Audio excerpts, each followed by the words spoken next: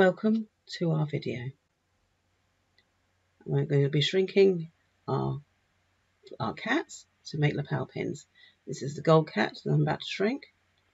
I'm using the hairdryer heat tool to give some control and I'm also using a wooden block which helps contain some of the distortion of the cat as you can see. Can be a little bit scary but keep going.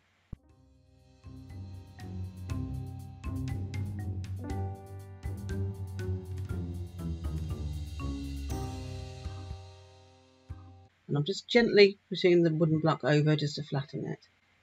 This time we're using the silver cat and I'm going to ink up a pattern to stamp over the top.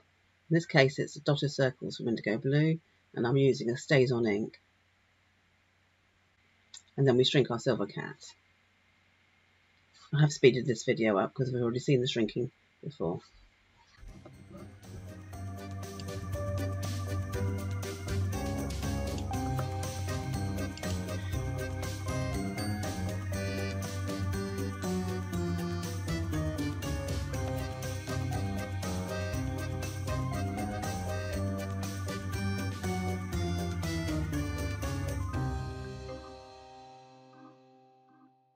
We have our shrunken cat and I'm going to be now covering it with embossing powder. I'm using the Stampendous Aged Black Embossing Enamel and I'm using embossing ink so that some of the enamel sticks to it. I'm covering the cat with the embossing powder.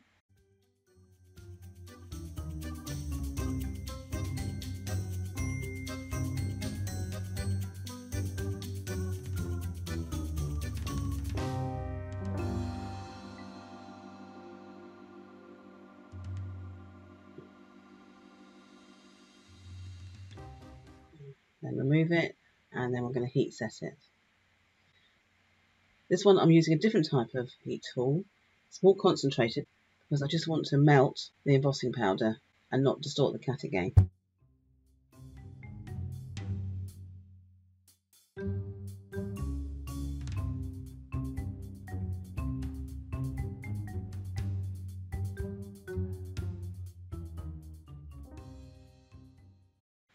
When, it's cooled down, I'm going to repeat the process so I can add another coat of enamel powders.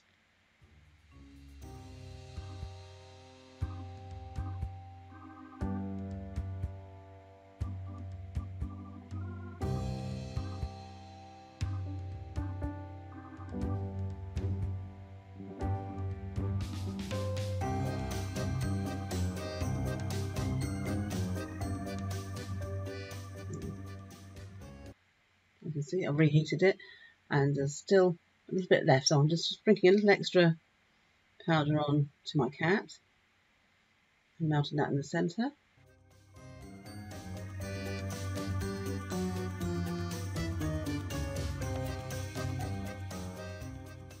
powder is completely molten, I can just move it around slightly with the tip of the stick, reheat it to smooth it out, and now I'll leave it to cool.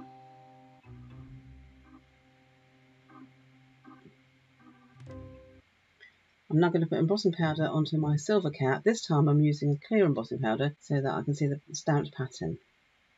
It's exactly the same process as with the black enamel, but this obviously time in clear.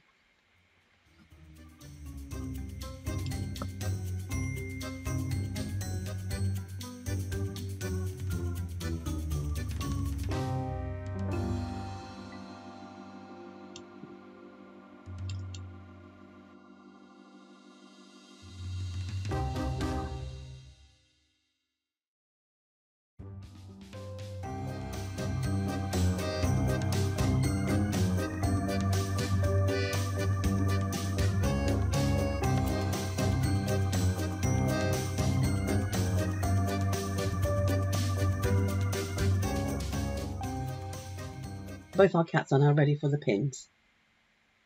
So I'll just turn over and then I'm going to add a drop of super glue onto the back of each.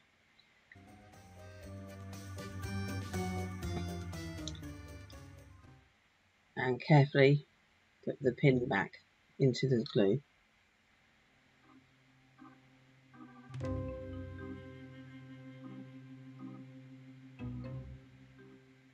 And then I'm going to add a little tiny, tiny drop of extra glue to the back of each pin and then I would leave that overnight to set fully to give a good bond. Thank you for watching our video.